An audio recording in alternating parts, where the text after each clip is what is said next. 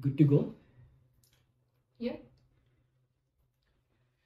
So, Mr. Hamad, tell us what is life in your opinion? Wow, uh, that's a tough one.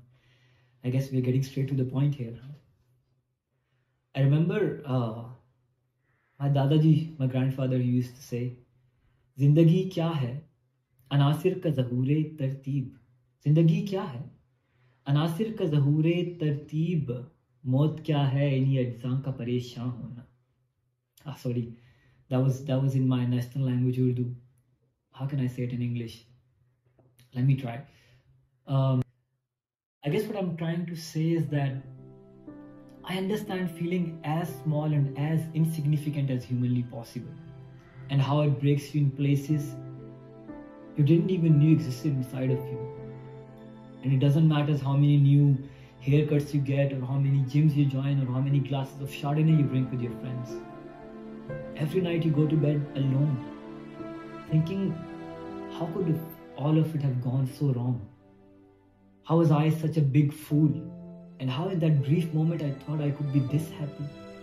And you know what's amazing is that sometimes you even convince yourself that they they would see the light of the day and that they would come running back towards you knocking at your door and when you open up the door you'd see them standing right in front of you with a bouquet of flowers in their one hand and two of the most overrated phrases known to the mankind at the tip of their tongue ready to be uttered out one i'm sorry two i still love you But then you wake up, you realize it's real life, it doesn't work like that.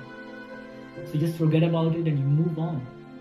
And after all of this, doesn't matter how how far away. You go to this new place, you meet new people, you make new friends, you fall in love again.